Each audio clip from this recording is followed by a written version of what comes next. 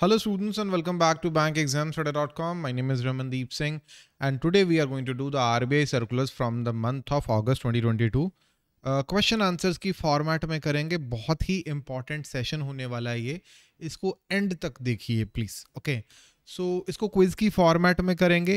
Easily understandable जितना ज़रूरी है उतना ही पढ़ेंगे। And this session is very very important if you are going to appear for I B P S R R B scale two scale two and three in exam के लिए अगर आप जा रहे हो तो this is very very important for you question भी करेंगे अलॉन्ग विद द एक्सप्लेनेशन ठीक है? As per the latest R B I circular what is the maximum limit on individual borrowing under the foreign exchange management borrowing and lending third amendment regulation 2022 जो FEMA की ये boring and landing का regulation है 2022 उसके according individual boring की maximum limit कितनी है? Individual borrowing का कोटा है वो उस कोटे को बढ़ाकर 1500 मिलियन यूएस डॉलर्स कर दिया गया है। That use to be 750 millions but now temporarily इसको बढ़ा के 1500 मिलियन कर दिया गया है इंडिविजुअल बोरोइंग के कोटे को। ठीक है? इसको आप ध्यान से रख ध्यान से याद रखें। जो कोटा है मैक्सिमम लिमिट है, वो 1500 मिलियन है। पहले साढ़े सात सौ होता था। Under foreign exchange management borrowing landing amendment regulation 2022 ठीक है? क्वेश्चन नंबर टू रिसेंटली देखिए first of all you need to understand ये दो चीज़ें category one authorise dealer and category two authorise dealers ठीक है? इन दोनों यू नो टर्म्स को uh, का नॉलेज होना चाहिए।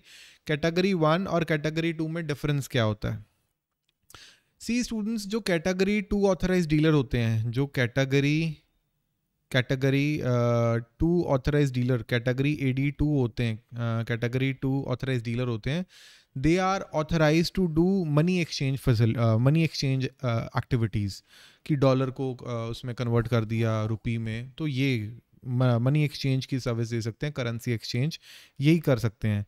While the category one they can do lot more they can provide a lot more services like cheques you know L Cs draft lot of services सारी जो international trade में transaction होती हैं वो सारी प्रोवाइड कर सकते हैं कैटेगरी वन में ओके सो जो स्मॉल फाइनेंस बैंक पिछले दो साल से ऑपरेट कर रहा है as a category two authorise dealer अब वो जो है uh, अब वो as a you know category one कर सकता है काम, ठीक है? तो ये एक कंडीशन थी कि पिछले दो साल से, दो साल से आप कैटेगरी टू मनी एक्सचेंज वगैरह की सर्विस आप as a category two authorise dealer दे रहे हो।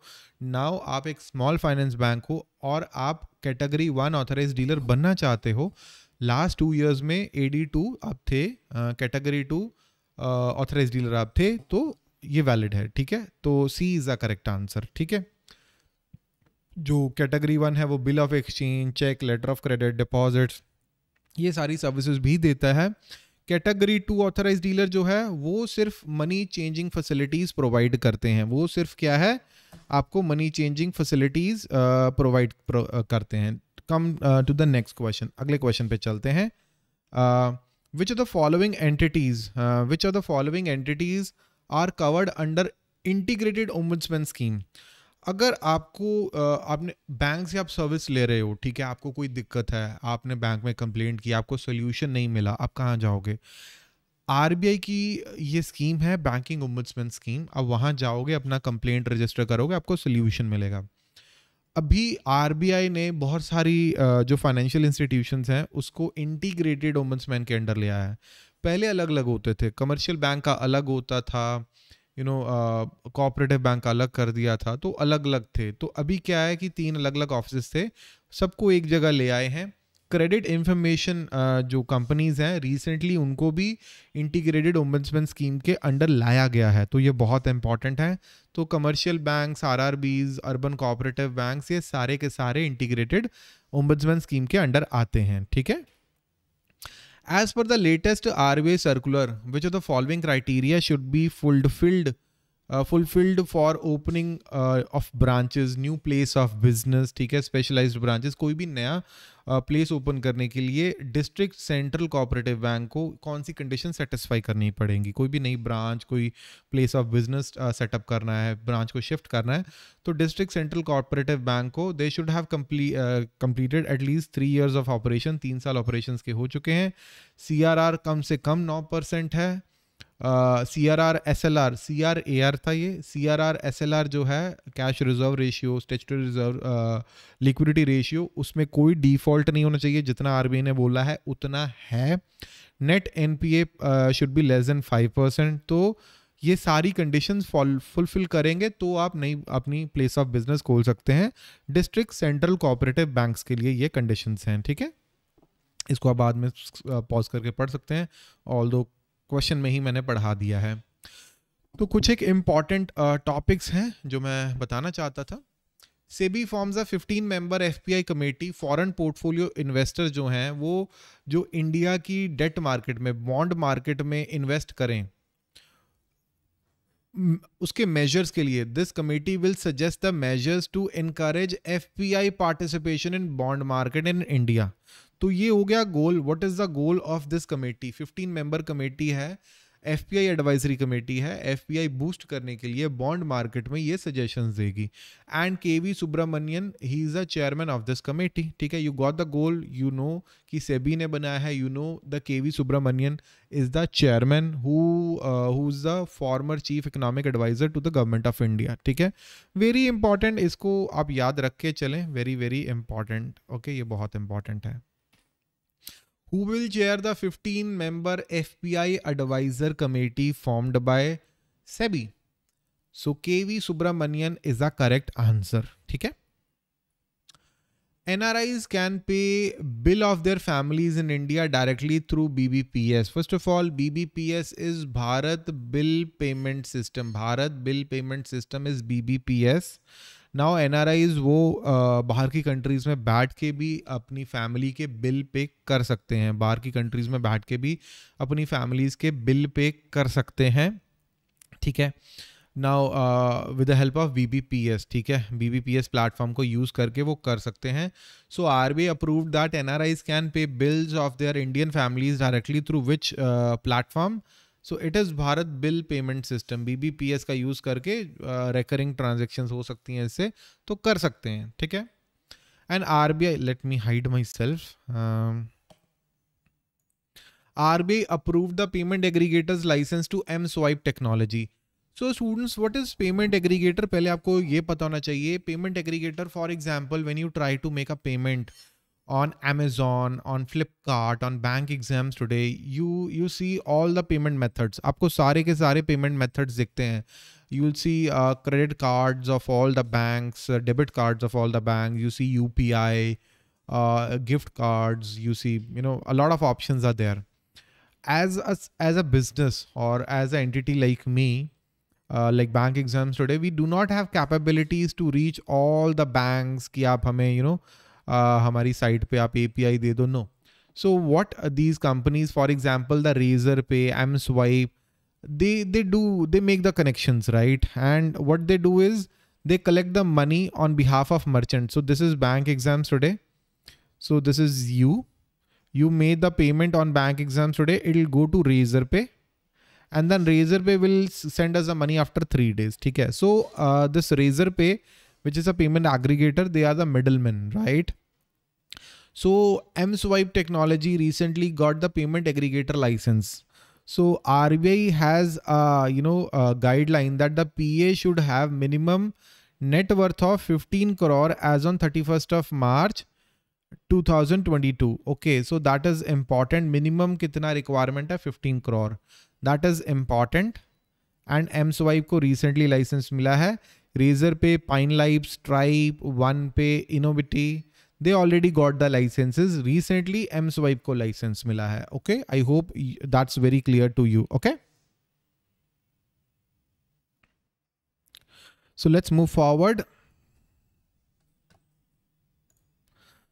Which payment service company got in principle approval from RBI for a payment aggregator license? So this is M-Swipe. They got uh, the license recently. M-Swipe ko recently mila hai. Okay.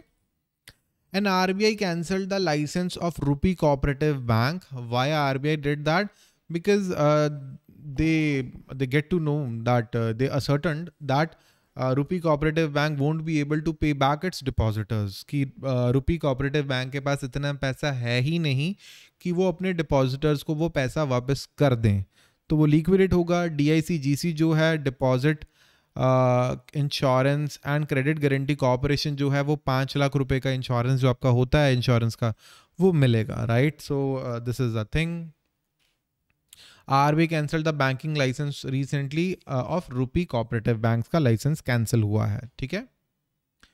And one liners are there so this is very important card on file C O F when you make a payment online आप Amazon पे payment करते हो, आप Flipkart card पे payment करते हो, आप Zomato Swiggy पे पेमेंट करते हो what happens they save your data they save your card details save your card details is it safe they know your card number they they know your full name the expiry date of your card it is not safe according to RBI what RBI says कि ये जो card की details हैं ये जो card on file है you need to encrypt it इसका token बनाओ you need to encrypt it and then save that token okay these Mastercard and Visa they they need to save it okay ये token save होगा। Token is encrypted token एक encrypted format में है। तो it is not you know directly आप ये नहीं कह सकते कि आपका पूरा कार्ड नंबर एंड ऑल वो सब सेव नहीं होगा। जस्ट एक टोकन सेव होगा। सेम कार्ड uh, आप सेव करते हो फ्लिपकार्ट और सेम कार्ड आप अमेजोन पे सेव करते हो, दोनों का जो टोकन अलग अलग बनेगा, ठीक है?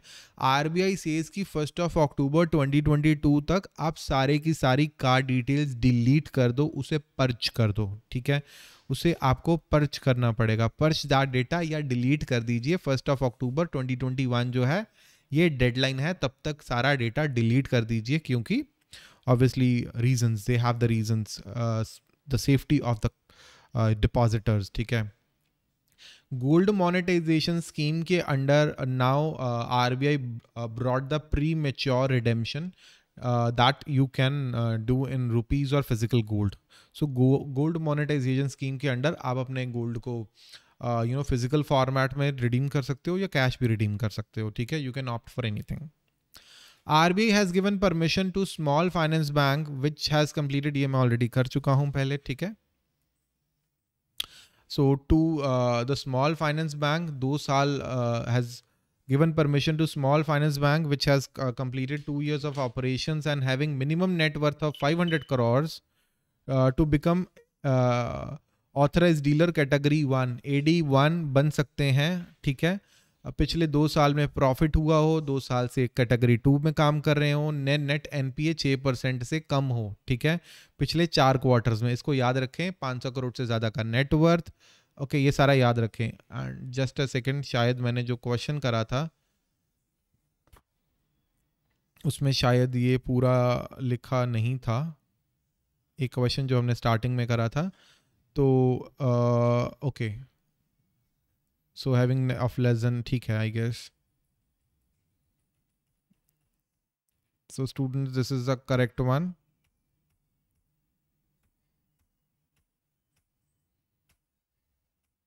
या. तो वहाँ पे आई गेस पाँच परसेंट लिखा था ऑप्शंस में, वो एनीवेज गलत था। फाइव हंड्रेड करोड़ का नेटवर्थ चाहिए, ठीक है? And this is the one let's move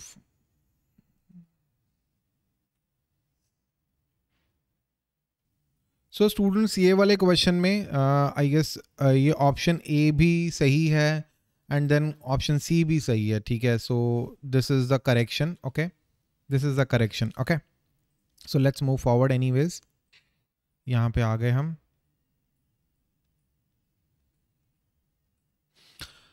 so so, दो साल का एक्सपीरियंस चाहिए right that is important and RBI has disallowed, and so this is the, yeah, this is the explanation. Small finance bank, वो AD1 का business कर सकते हैं। Minimum net worth का requirement है 500 करोड़ दो साल का ये तो करेक्ट था ही। दो साल का बिज़नेस का एक्सपीरियंस होना चाहिए AD2 का, और एन पी ए छः परसेंट से कम होना चाहिए, ठीक है? And R B I disallowed the use of letter of comfort which में impact the loans worth thirty five thousand crore what is letter of comfort ये बिज़नेस है ए इसने बैंक को बता दिया कि यार ये बी कंपनी है ये हमारी सब्सिडरी ही है अब लोन दे दो इसे ठीक है? So this is letter of comfort R B I banned this and R B I ने अमेरिकन एक्सप्रेस से जो बैन uh, लगाया हुआ था वो लिफ्ट कर दिया है आफ्टर वन ईयर क्योंकि उन्होंने कंप्लाई कर दिया है। एंड आर बी आई एक फ्रॉड रजिस्ट्री फ्रॉड की रजिस्ट्री बनाएगी जिसमें और सारी फ्रॉड वेबसाइट्स फ़ोन नंबर सारे मेथड्स का एक जो है रिकॉर्ड बनाएगी R B I okay and student that's all for today you can join the I B P S R R B G B O scale two scale three crash course it's available on bank exam today dot com we are providing complete video classes notes on the test series quizzes power capsule question bank every thing is available on bank exam today dot com and in case of any doubt drop us a WhatsApp message we are going to answer your doubt this is the link Uh, all the links are available in the description. Please send us a WhatsApp message in case of any doubt. Okay. And list of our students who cracked the IBPS RRB GBO Scale 2, Scale 3 exams in the previous years. In case of any doubt, uh, ask your doubts and we are going to answer your doubts. Okay. And that's actually all for today. Subscribe the channel and like this video. This is really, really important for me. Thank you.